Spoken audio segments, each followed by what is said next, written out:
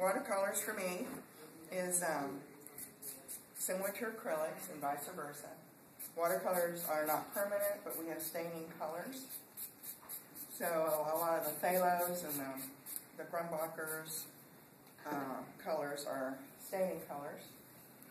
And um, they're also transparent. So when you want the colors to flow, let's see, then um, I use the transparent colors. And when I start a painting, I can either work on dry or wet paper. And as I paint and do try new things, I keep a lot of notes. Well, this is my some of my notes.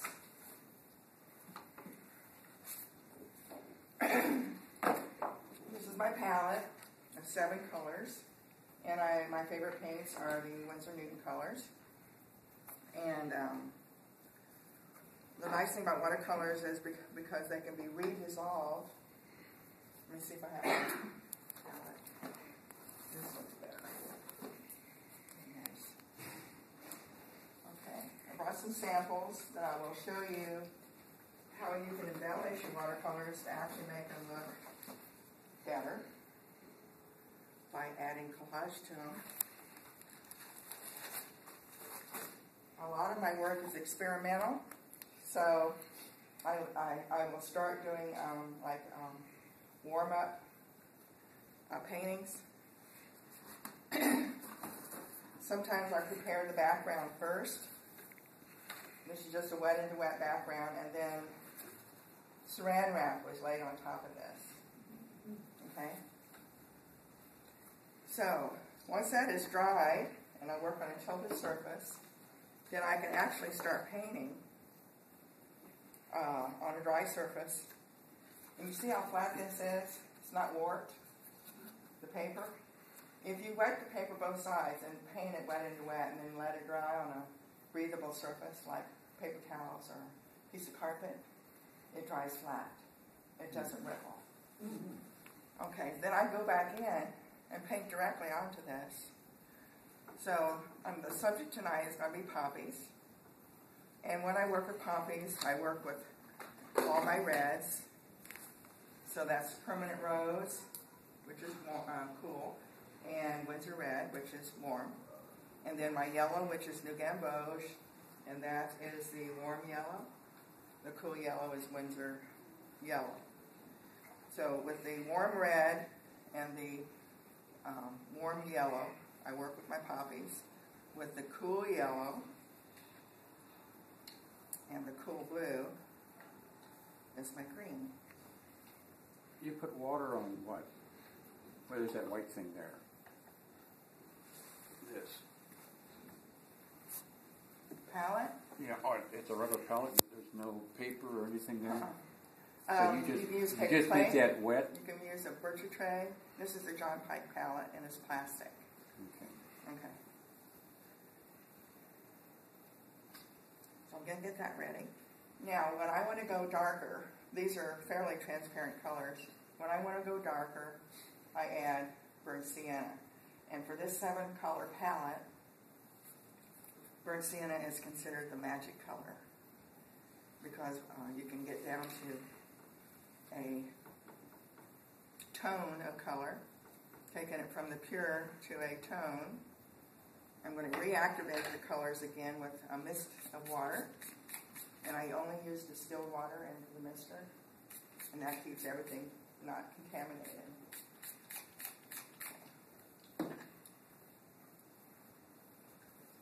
What happens? Hmm? Is it mold if you don't use distilled? Well, you never know what's in your water. Hmm. I don't even drink water out of the tap. okay, so here we go. Have to see the invisible flower so I can paint. Okay.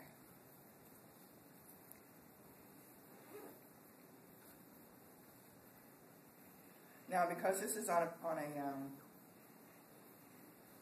tilted surface, the colors will run downhill. You work with your board away from you. When I'm painting at home. Uh, usually towards me, but I'm Okay. painting. I'm painting upside down for you. Okay, I just wondered if that was your technique or if you were doing that for Kim.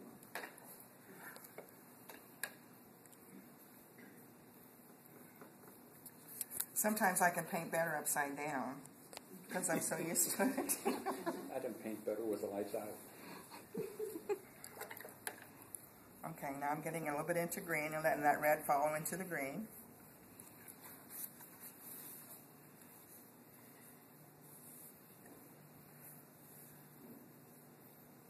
Okay, this is paint on the bottom and water in the middle, joining the two together.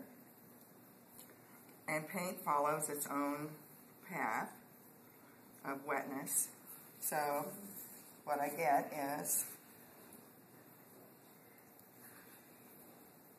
dark at the bottom, dark at the top, and transparent in the middle, which gives you a change in value as well as color and makes more entertaining stem. Okay. Do a couple of those.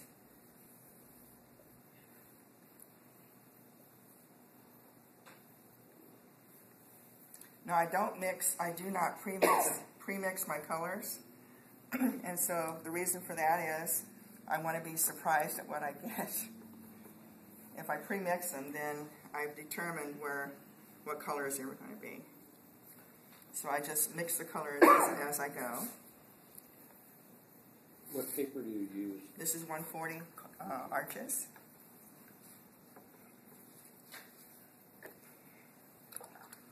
And you know the rule of thumb is you rinse your brush after every every time you get into your paints.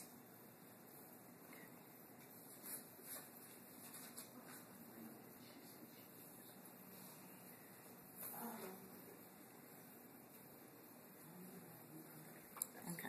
Now at a certain point, the, the paint goes from gloss to satin. At that point, I can actually scrape into this for texture, or I can lift with a damp angle shader and actually lift lights back out.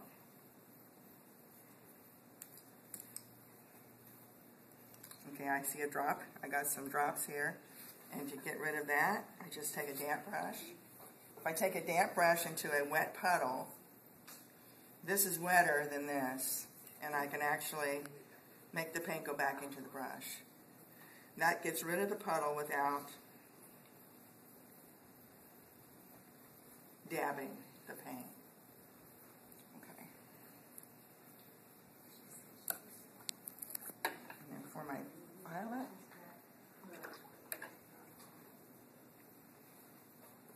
For the violet, I'm using uh, French ultramarine blue and uh, permanent rose. So I'm using my my cool red and my warm blue to get the violet. In the center of the poppy is dark. So violet is our darkest color.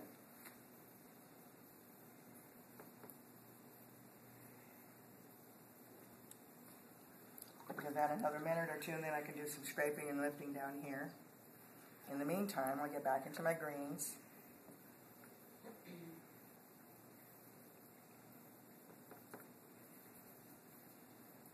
And working on the chisel. I can put in the, the leaves.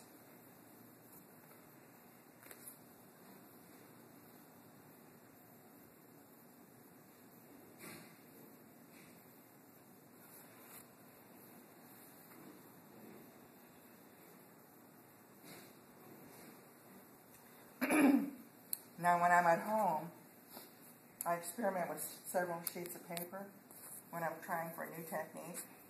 So um, I try to think outside the box. That keeps me uh, alerted of the possibilities and the surprises that are available to painting and discovering new things. What size brush is that you're using? This is a half inch flat. Now, all my brushes are synthetic.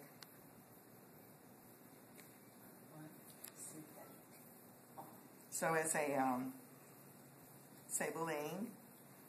but it's uh, synthetic. I'll put a blue leaf. If you know that it's a poppy leaf, I don't have to tell you it's green, right?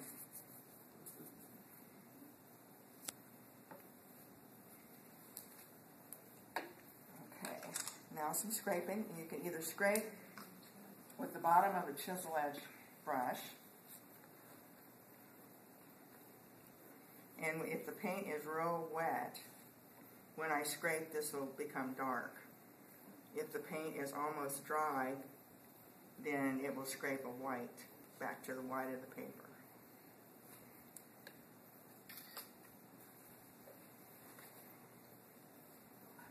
Now I'm going to do some lifts. So we call the scraping valleys. We call the lifts hills. So if you have your scraping for the valleys and your lifts for the hills, it gives you this feeling of a movement in the in the petal.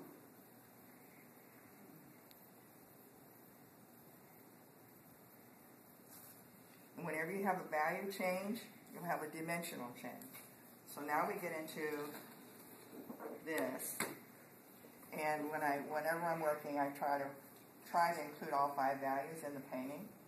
So the more the more value changes, the more dimensional it's going to look. So I leave white. I paint in midtones. Then I add my darks. And with watercolors, your darks are the um, the last things you add to the let's try blue. The darks are the last thing you add to the paint.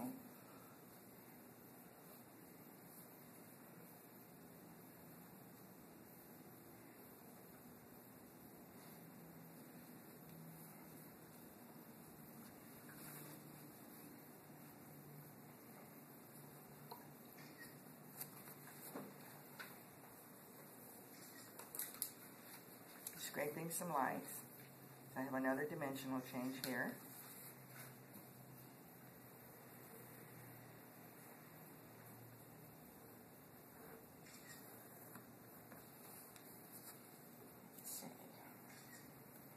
Maybe a lift here in the middle where it went too dark.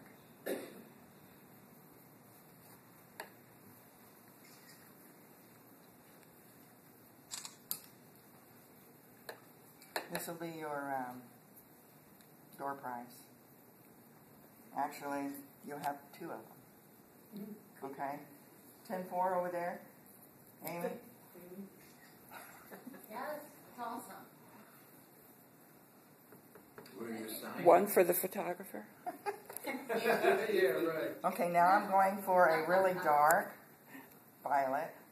So I use French aquamarine blue, permanent rose, and add a little bit of burnt sienna to that. Or what's the other thing I can add to violet to make it go a little bit grayer? Yeah. Color wheel. What, what's the opposite of violet? Yellow.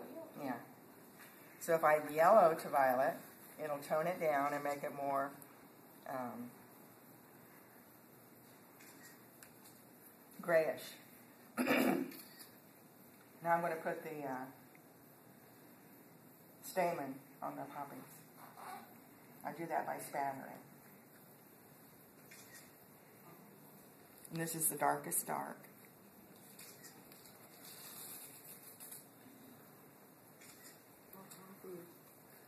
Okay. Now I'll show you on this one, on the back of this one. This is what I have my students practice. Okay? This is fun. I, this is a challenge. Okay. If you see a circle this big, circle this big, and circle this big. Now, your challenge is to get all your spatters in that circle. All these things in, in that big circle. You want to see? Yeah. Okay, this is this is the dagger striper brush. It's a little bit on the wimpy side.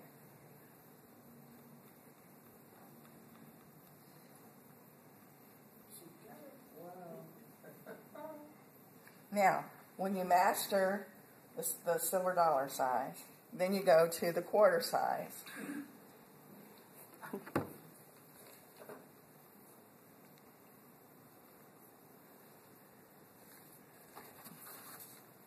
Okay.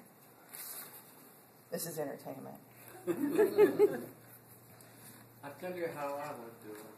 I would cut out a hole in the paper the size of the dollar. And you can do that too. Over there and then. Okay, here we go. This is smaller than a dime.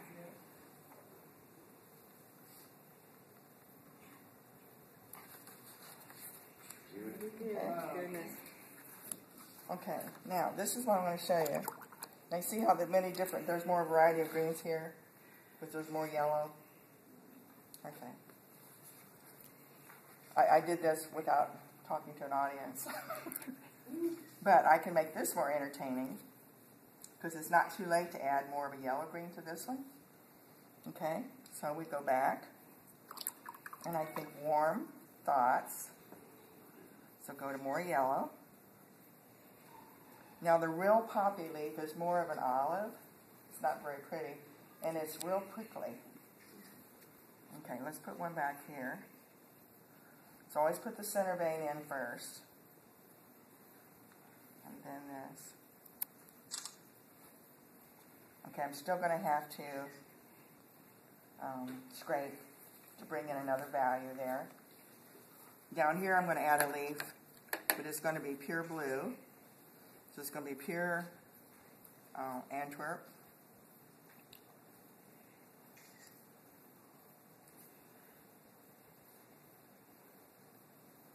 Now I'm going to work from the center out and make kind of a um, rough looking.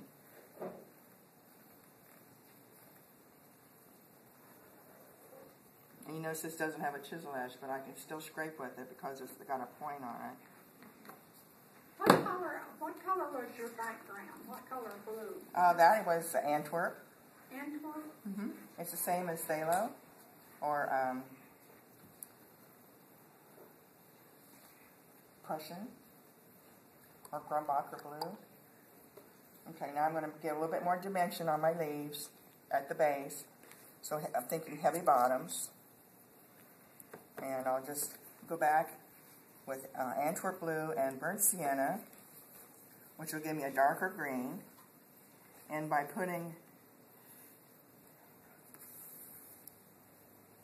a darker green at the bottom here where it's still wet, it will bleed back into the leaf, but also add, because it's a value change, it will create a dimensional change. Heavy bottoms.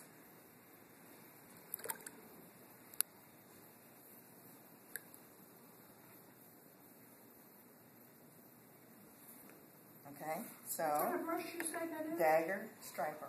A dagger? Dagger. Okay. Okay. So that, that if this is what I like to sign my name with, is the dagger striper. So I'm going to go vertical on this one.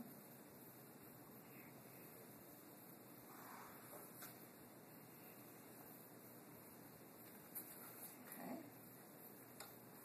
Um, Probably vertical on that one. Now the rule of thumb, if you haven't heard this before, is your signature should be one shade darker than the surface you're putting it on. That way it doesn't dominate the painting. And just say it should be the same color as the background. So, okay. Now, I'll show you a couple finished pieces. Can everyone see this without the glare? Okay. This is pure watercolor. So I'd like you to enjoy this painting.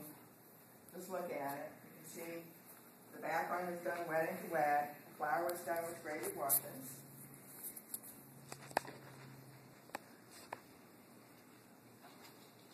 Is there layers of on this, on the flower? Yeah. Okay, here's another watercolor. It's just pure watercolor. There's nothing fancy. It's just a little bit more. I'm more focused on variety of shades of green. Okay, let's start that one over here. So the first two paintings are pure watercolor. Okay. Get ready for some excitement. the last three have collage in them. Okay, this one is just a little bit of surgical gauze or cheesecloth, and it's painted with the same colors as the flower. You placed that on there and left it off, or you left it? No, it's on there. Oh, okay. Okay, now whenever I add collage to a painting, Do you use uh, glaze to get it to I stay on? use I use the um, golden uh, matte. Matte, Mm-hmm. Yeah, heavy So- gel matte oh, or, gel. or gel medium. Okay, so the the actual gauze is painted with the same paints, so it, it, there's color harmony. It adds a little bit more dimension because it's another layer. The darker blue down here, is that again, how many, No, okay, with watercolor, the darker the color you want, the less water is in it. less water? The lighter you want it, the more water is in it. We call that dilute. Okay. Yeah. Uh, Here's one. Do you use that gel because it dries, uh, it doesn't dry shiny, There's a matte gel and there's a gloss gel. and that would be shiny? Yes, gloss is shiny. Okay, now in this one, uh, it's a wet and wet background, and you almost have to feel it. What I did was I painted the leaves on another surface. Then I tore them out. And then I glued them on.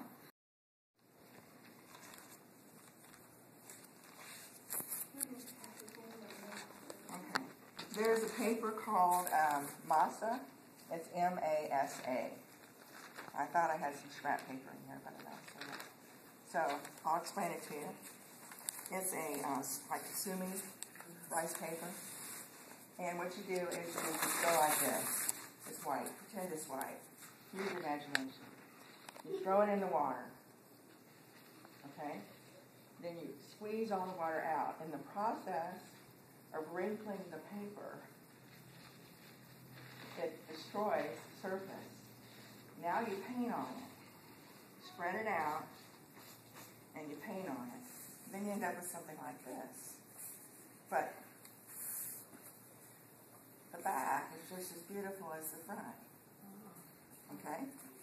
So, I'll go through and I'll paint different masa papers. Okay? Different colors of masa. Because I like the texture. And I love texture. It's almost like a rice paper, isn't it? It is. It's, it's what they do sumi painting on. Okay, so we have the masa paper. you can also, there's another rice paper called um, Thai Unryu. And it's a uh, fibrous, can you see the fibers? This was white, and I painted it a light green. Okay, so when I'm getting ready to do some collage, I'll work with numerous different rice papers with different colors, all in the same family. Okay, this is another one. Rice paper, Thai Unryu. Now the reason why I'm telling you it's Thai Unryu, like Thailand, is uh, it, it has the fibers. If you just ordered Unryu, it would have one or two fibers in it, but it wouldn't have all all these fibers. And the fibers make the paper tough. How do you spell Unryu? U N R Y U. And you can get that at Artmart, Big Now, here's another interesting fact. If you took a sheet of white watercolor paper, pretend this is white, and you put a piece of Thai Unryu on top of the watercolor paper, then painted it. Now you have green paper, and you get this underneath. So we call this a two for one. Okay? Now I have piece of watercolor paper that's this color and a piece of Thai Unryu that's this color. But they were once married. Okay? So they are together and then they're apart. and they are still in the same color family. And what you do in watercolor, you can do in acrylic. So if you're an acrylic painter and you decide to go with this technique, you need to water down your um, watercolors to a dilute consistency so that, and then remove the papers while they're still wet so they don't stick together. Otherwise, acrylic will act like a glue. Okay.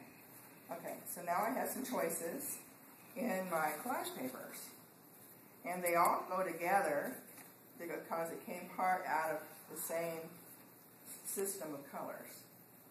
Okay? The seven color palette. Okay. Now, some poppies more. When I work on a series, they can go up to 30 paintings of various sizes. Okay. So, what I did on this one was I took the, the masa paper and cut out this leaf. Oh, okay? I took the Thai Unryu and cut out this leaf. So here I have a textured leaf and I have a fuzzy leaf. So you see how much variety is in that? Same colors, the only difference is the type of paper. So the poppy is painted on 140 pound arches. Then we have the masa and then the Thai Unryu. I'm going to pass this around. It's basically the same palette, different papers. It's. I decided to cut out the whole poppy out. Okay? And put it on a piece of masa paper. So this is done on watercolor paper. Cut, cut, cut, cut, cut. This is masa. So what I have here is something similar to this. Watercolor paper. Paper dolls. They have their own little caves. Okay? If you can't find the cutter bee, just get the small titanium scissors. They run about seven or eight dollars in the craft stores. And they're extremely sharp. Say cutter beam? Bees. Bees. Bumblebee. Oh, okay. Bees. Cutter Bees. bees. Okay. So now, when I get ready to collage, here's my dilemma. I say, okay, I don't want to make a mistake on the background, so I'm going to make several backgrounds, and then I'm going to make my decision. So I tried it on this.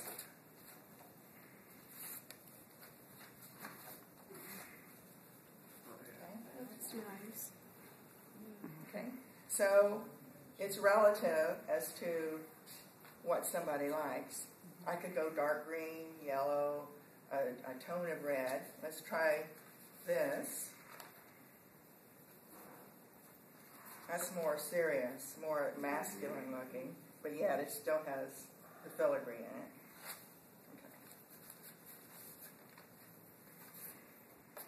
Okay. Now, this is watercolor paper.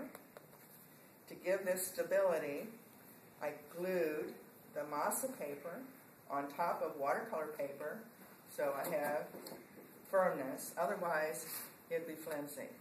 Okay? You glue that with that, Yeah, with that. the gel medium. Yeah. And I think I like this the best. Yeah, I do too. Okay? This is how I think out loud. And then if I try something new for the first time, it's right on this paper. Then I have this for my record. Okay? A lot of work. Now, if you are passionate about something, you put the extra effort into it. If you're passionate about um, boats, you did the same thing. Boat after boat after boat, or dogs, or cats, or whatever. If you have, if you're passionate about a certain subject matter, you'll go to no end to get as many varieties and whatever of that subject. So I'll pass this around. Now here's an example of a collage. that I painted. This is my daughter Jill, and she was painted on a totally different surface.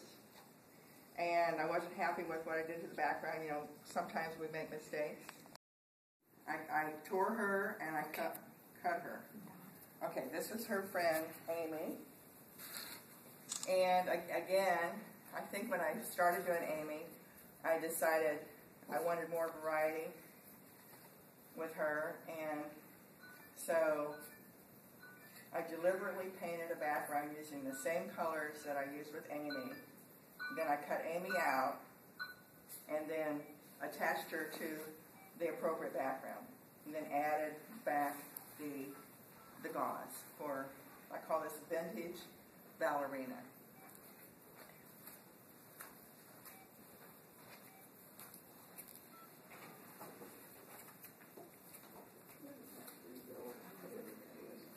Okay, here's a simple poppy. And I just used rice paper called Chiri, C H I R I. And it's, um, it's a um, mulberry paper with, with uh, bark in it. So it's, it's simple, but it's interesting. Has texture without you going overboard. Now, this is done on 300 pound paper. It was a very simple poppy painting, similar to this. Okay? Like this. No figure in it. Alright? And I looked at it and looked at it and looked at it. I said, this needs something. It needs, uh, it needs to tell a story. So what I did was, I painted Jill, my daughter, and um, I had her model for me, so she's stooping over and she was doing this, and I photographed her. Then I painted her picture, and then I cut her out in pieces. So, um, this is her, and then I had to. This was in the way, so I had to tear her arm and put her underneath the petal. Okay, so she would go through. And you know, with, with another thing to add dimension is overlap in a picture. Now, I kind of liked that and it was doing okay, but I needed more. And I said, well, what does it need? hmm. So I said to myself, well, it needs more fern leaves. It's got enough poppies. Hmm. So I painted more fern leaves, cut them out. Now, if you can believe this, this piece right here is collage. I use the same wetting to wet technique. And it looks just like this that's on the watercolor paper. Except this is collage and this is painted on the paper. This is collage, but I tucked it in to what was going on here, and I had to feel it myself now. This is collage here. This is collage here. This is collage here. And then this is collage, and I only only glued down the center so that when it's in the frame, it casts a shadow.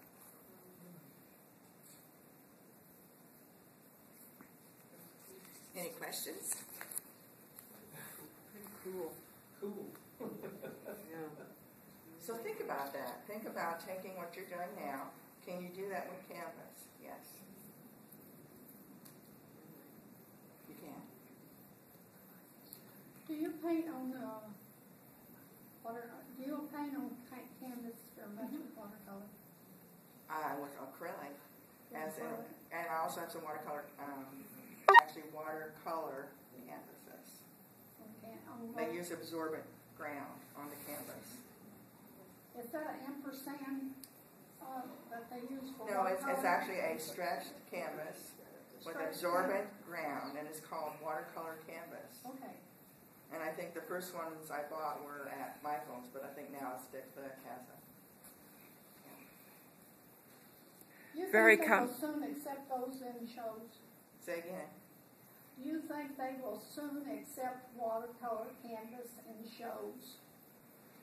Missouri Watercolor already does. Missouri watercolor doesn't have to have a glaze on it. It's water media on canvas. So even if it's watercolor or, or acrylic, they accept it on canvas without glass. The Okay. Missouri Watercolor Society, But they say in their, in their, uh, not St. Louis, Missouri. I know, but they say in their prospectus, they wrote no canvases. Well, that's a new rule. For the first 20 years, it was uh, uh, canvases were accepted because I've been in shows where it was. I'll have to, I'll have to ask. Go online and that. see. Go, on, go online and see. Or did. You would frame that, I mean, you would, you wouldn't put that out without glass on it. No. Because that's, No, that's, no. No, too many curious hands. well, yeah, I wouldn't. But if you paint watercolor on canvas Mhm. and you don't put a glaze on If, it, if I have a doubt, I, I will call the director before I enter it into a show. but if you're gonna sell that Shirley and you don't put a glaze on it. How Oh, okay. I see where you're, uh, you're coming from. Okay. When you finish painting the watercolor on canvas, you spray fixative on it. Okay, Okay. You do put a, a varnish over it, Varnish. uh, an acrylic varnish. Other than the years of experience that are behind this, a typical question I'm sure you get how many hours do you think you put into a painting like that? I mean, it has to be Uh, a, yeah. a humongous. Actual hours. Well, a lot of people say, well, it took me 20 years to paint that painting. Right. Well, I- that's why I was qualifying. but actually, I probably have at least 50 paintings or 100 in process. okay. Ongoing? Yes. Whoa. I have three flat files full of unfinished paintings. Um, when I don't know what to do with a painting, it goes in the file. And I wait until, give it some time and distance, then go back to it, pull it out, and say, I know just what to do. That's how this one started. I may have started this 20 years ago, and I said, you know, that's too good of a painting to throw away. I don't throw any of my paintings away. Maybe later, when I get more experience, I'll know what I want.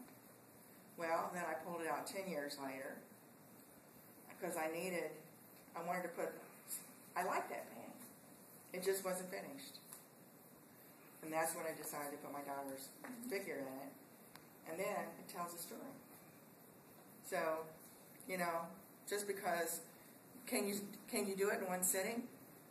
You know, no, not really. And, I, and you know, like what I did tonight, that was easy. Those are spontaneity pieces. Um, but um, Shirley, what is the gold that you're putting on? I use gold spray paint. Gold spray paint. Is it, it's just in a can, is it watercolor, is it, uh, No, it's it's a.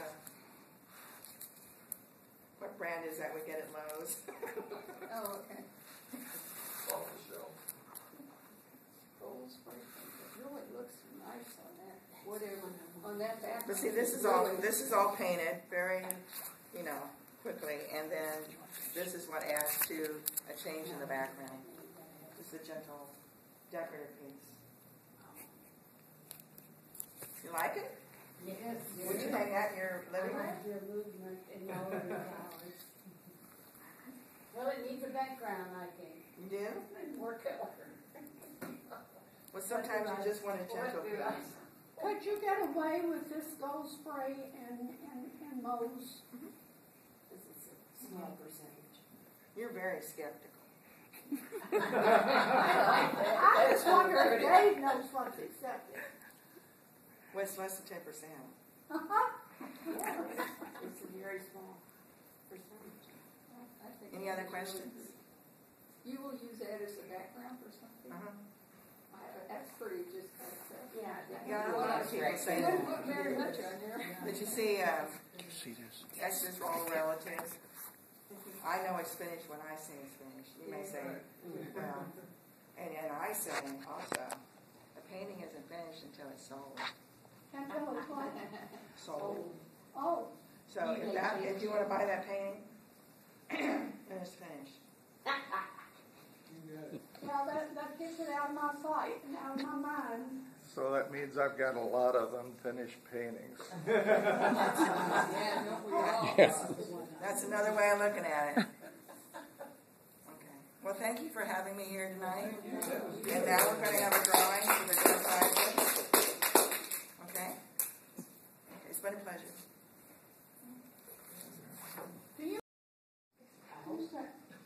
Daddy, did you Focused in North St. Louis County, Northside Art Association is a nonprofit 501c3 arts organization that serves local artists through community exposure, networking, education, and peer interaction. Learn more about Northside Art Association at www.northsideartassociation.org.